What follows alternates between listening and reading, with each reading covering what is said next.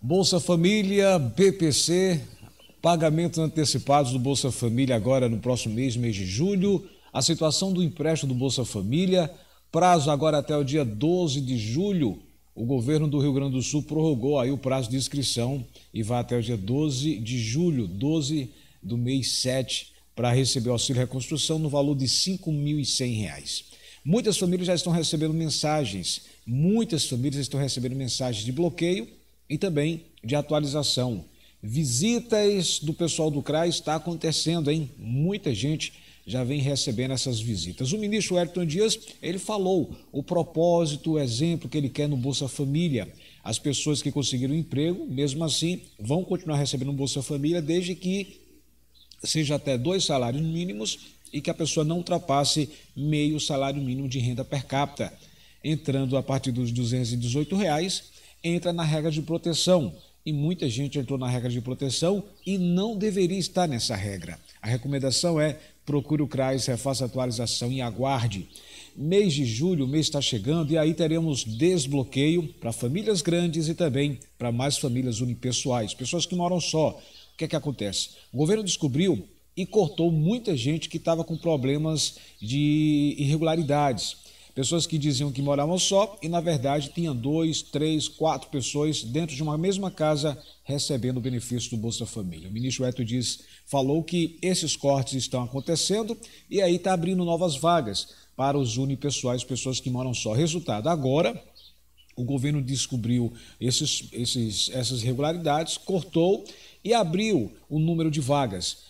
As pessoas que moram só têm direito, né? O governo libera 16% das vagas exclusivamente para os unipessoais. Então, tem cidade que, que caiu para 10%, outras para 11%, outras para 12%, enfim. Então, novas vagas serão abertas nesse mês de julho para unipessoais.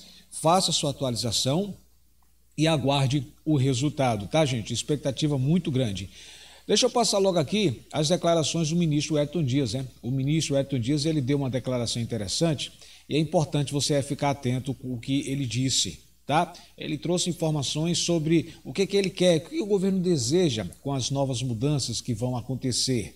Então, bora dar uma olhadinha o que disse aí o ministro Edson Dias a respeito né, do seu desejo, do que ele espera. Então, acompanhe parte da entrevista para você ficar atento. Ok, pessoal? Acompanhe, preste bastante atenção e tire suas próprias conclusões. O ministro Edson Dias, durante a entrevista, ele disse o seguinte: É o, o que, que a gente quer? Vou dar um exemplo. É, a gente criou um modelo no novo Bolsa Família para tirar o medo de assinar a carteira. Tinha muita gente, ah, não vou assinar a carteira, senão perco o Bolsa Família. E quando saía do Bolsa Família, ia para uma fila que chegou a 2 milhões e 700 mil pessoas. Então, de um lado, a gente reduziu não é, essa fila e criamos um modelo em que não assinar a carteira não é razão para perder o benefício do Bolsa Família. A gente mede é a renda. Por exemplo, você citou aí a história do salário mínimo. Uma família de seis pessoas, ela ganha o salário mínimo. E aí é, assinou a carteira. Perde o Bolsa Família? Não.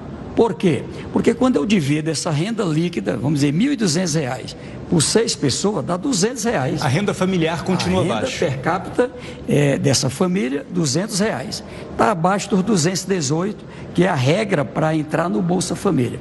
Essa família recebe aquele salário, fruto do trabalho, e mais o Bolsa Família. Outra pessoa daquela família resolveu trabalhar. Ali ganha de novo o salário. Vamos dizer que seja é, dois salários mínimos e o líquido R$ 2.400, R$ 1.200 cada um. Quando eu divido R$ 2.400 por seis pessoas, aqui 400 reais per capita.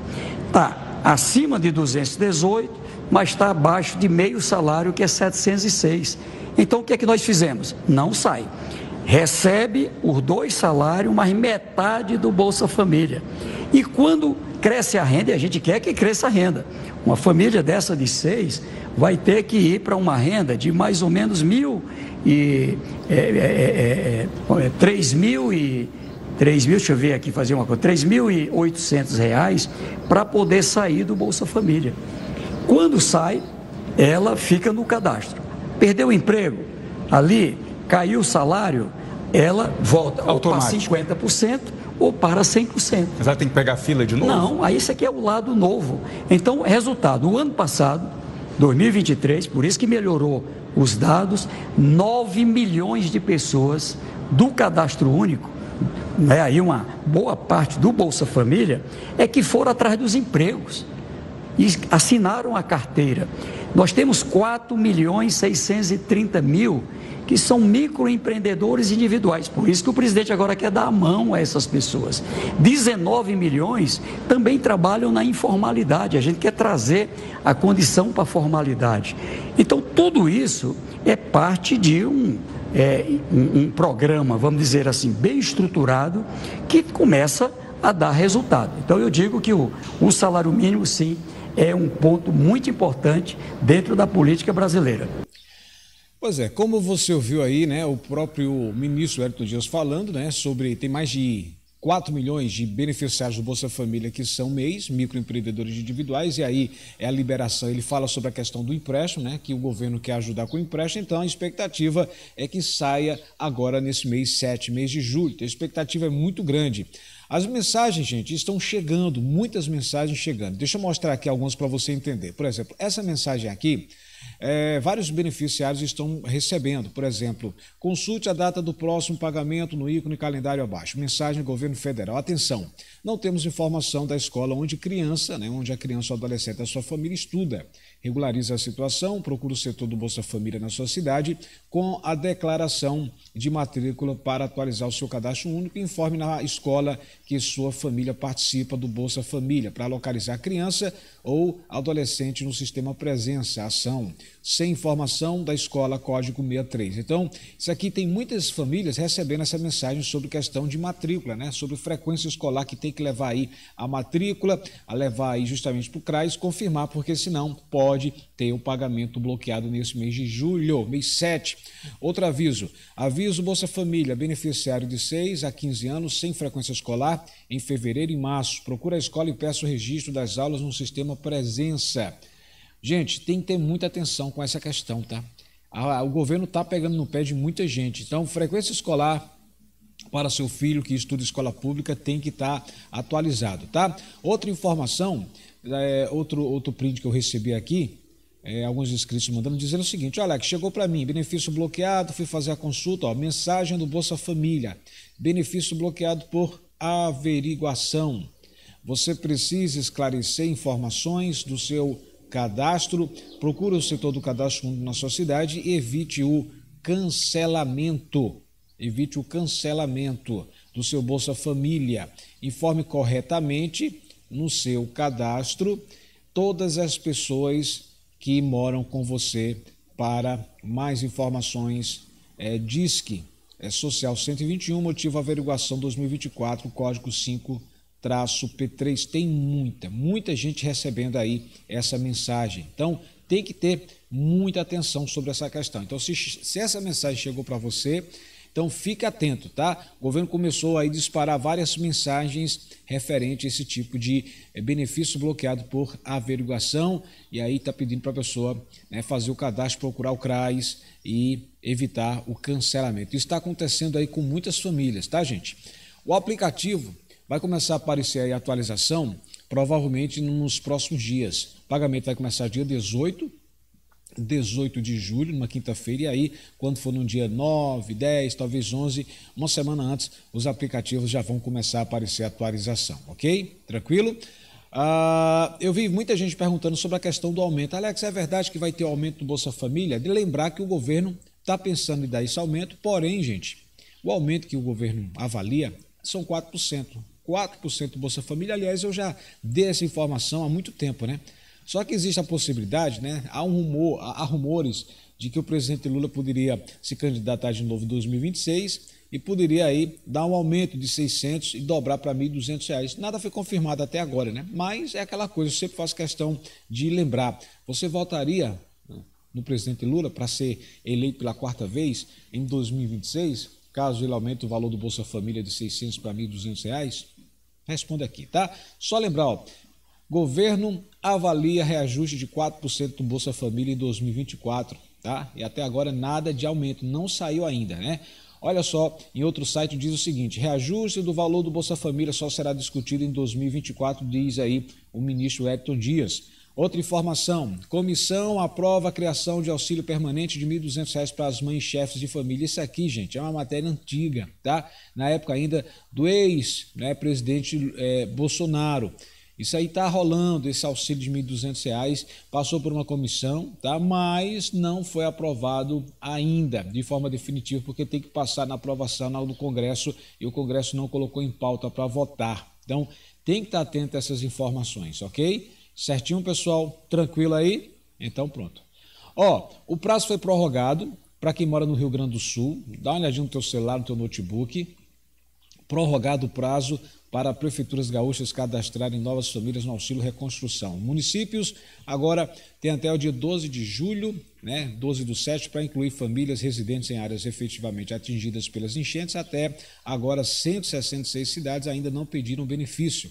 Ou seja, agora vai até o dia 12 de julho para que essas famílias possam se inscrever e ter a possibilidade de ter direito a receber o auxílio de R$ 5.100. Certo? Tranquilo, pessoal? Muito bem. Lembrar, hein? Pessoal de Pernambuco, nada foi definido. O abono natalino de 150 reais, 1 milhão 570 mil beneficiários terão direito, até agora nada. Os 300 reais, as mães solo que têm crianças de até 6 anos, o governo de Pernambuco prorrogou o prazo até o dia 20 de maio. Muitas mulheres, muitas mães se inscreveram e esperando aí sair a lista e até agora nada. Então são duas informações que a gente está esperando, acompanhando que a governadora Raquel Lira possa anunciar nesses próximos dias. Ok? Visitas e mais visitas. Muita gente está recebendo visitas. Se você não recebeu, você poderá receber essa visita, visita por parte é, do CRAS, viu? Visita domiciliar, pessoas sozinhas estão sendo visitadas do Bolsa Família, mães solteiras estão recebendo visitas, famílias com filhos, enfim. Muita gente fica perguntando quem vai ser visitado. O governo, né, quando entende que existe algum tipo de irregularidade, eles vão e enviam visitas. Então, essas visitas que estão acontecendo são visitas rotineiras e é pego de surpresa. Então, se acontecer isso, veja logo o crachá, se a pessoa está com, cara, tá com crachá e se o carro está adesivado aí por parte da prefeitura. Então, é necessário estar tá tudo isso em ordem, em ok para você né, passar os detalhes, passar as informações, ok? Certinho, pessoal, tranquilo? Palavra para hoje, Alex, tem? Tem, né, gente? Palavra para mim, para você. Livro de Salmo, capítulo 128, palavra que eu me apego, que diz: Bem-aventurado aquele que teme ao Senhor e anda nos seus caminhos, pois comerás o trabalho das tuas mãos, feliz serás e te irá bem, e verás os filhos de teus filhos e a paz sobre Israel. Pois é, Bem-aventurado aquele que teme ao Senhor. Você teme ao Senhor? Você acredita em Jesus como seu Salvador? A palavra de Deus diz que creia no Senhor que será salvo tu e tua casa. Mas também a palavra é transparente, né? Se você não crê, lamentavelmente já está condenado. Então pense nisso. Eu sempre digo, problemas, dificuldades estamos enfrentando todos os dias. Mas até aqui o Senhor nos tem é, nos levantado, o Senhor tem, é, o Senhor tem é, nos acompanhado. Ah, se não fosse o Senhor, né, a gente já estaria onde, hein? Onde é que a gente estaria? Então, nós que somos cristãos, cremos no Senhor Salvador, é esperar, é orar, pedir salvação, pedir sabedoria, é perseverar na oração sempre, pedir força para continuar nessa vida que não é fácil, tá?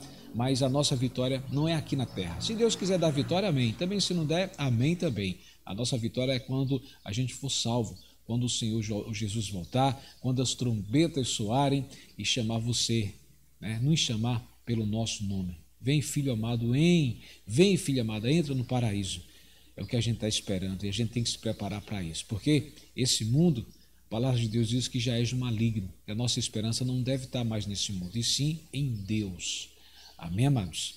Fica com essa palavra, tá? O Senhor é o meu pastor e nada me faltará, porque quem tem Deus tem tudo e por isso nada nos falta. Amém? Pega esse vídeo, compartilha com seus amigos, parentes, vizinhos, colegas, é importante. Tem gente que precisa ouvir essa palavra. Faz a tua parte, que a minha eu faço. Combinado? Você já deu joinha aqui? Já deu like? É importante, faz isso. Ó. Você que gosta do nosso trabalho, você que aprecia as nossas informações aqui, é para você se inscrever. Está vendo aqui embaixo no inscrever, o nome inscrever-se destacado em vermelho? Clica nele, fazendo isso, vai aparecer um sininho. Nesse sininho você clica em todas as notificações. Toda vez que tiver vídeo novo, o próprio YouTube irá avisar você. Combinado? Fiz isso? Estou confiando em você, tá? Eu recebi umas perguntas, algumas mães dizendo: Alex, meu valor foi para 800.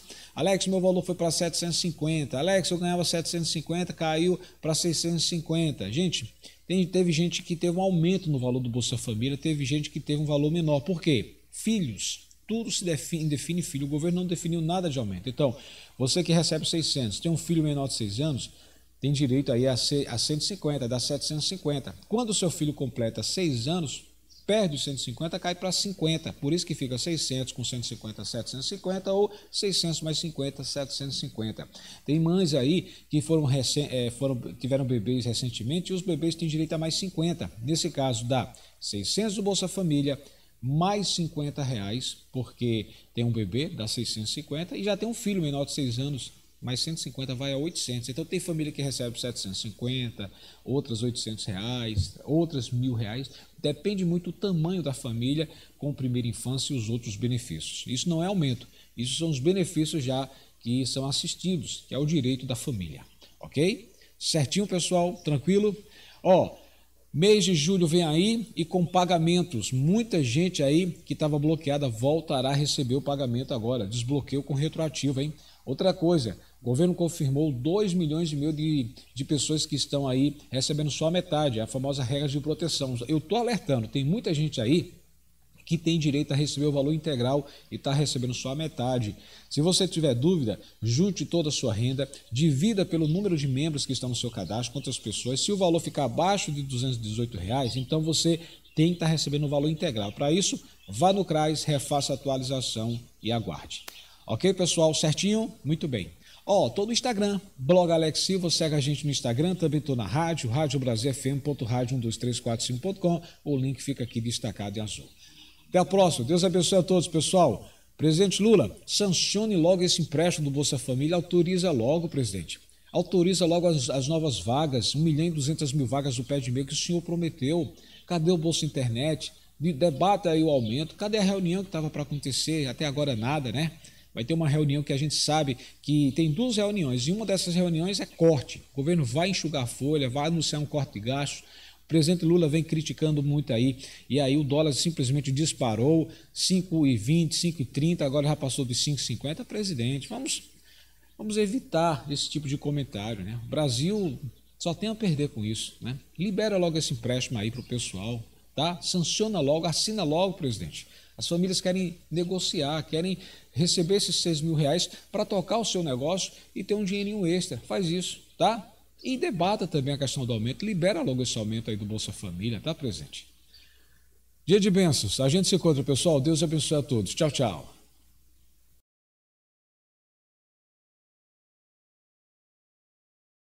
Não esquece, hein? Tô lá no Instagram, blog Alex Silva, e tô aqui na rádio, radiobrasilfm.radio12345.com. O link fica aqui embaixo destacado em azul. Tchau, tchau.